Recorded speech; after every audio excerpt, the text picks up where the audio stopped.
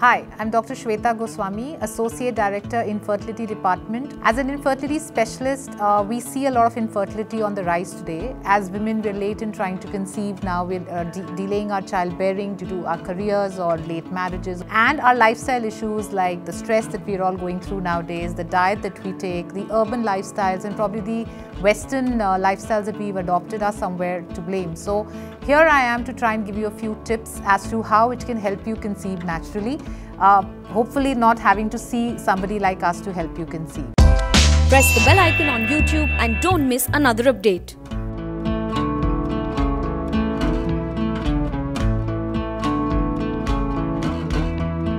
Should understand the science behind conception because uh, if we get that right, we understand what's the important time to try, uh, what are the percentages of success that we're looking at every cycle. A lot of patients come in to us now and they've just been trying to say three months or six months and, and they're really freak, freaking out as to why is it the things are not working out for us.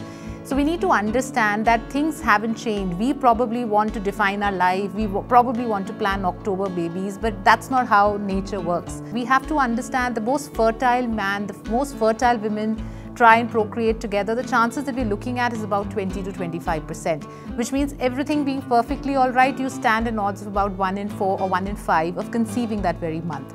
So we need to understand it, take, it can take you as well as about 6 months to a year to uh, help you get pregnant and that's perfectly normal.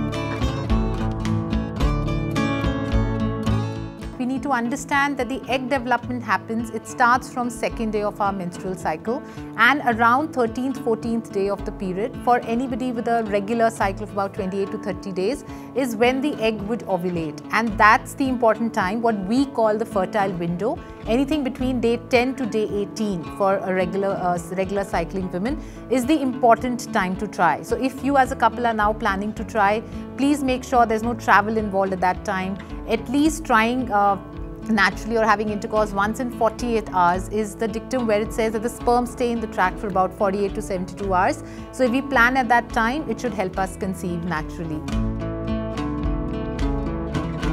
Before we see a doctor, we should understand some warning signals. Our cycles are uh, very irregular if our tubes have been known to be inflamed or we've had some kind of a gynae surgery or a pelvic surgery prior to this, if husband has had a history of mumps or any uh, surgery done in the groin area, then we should consult our doctor earlier, else six months should be a good time to go.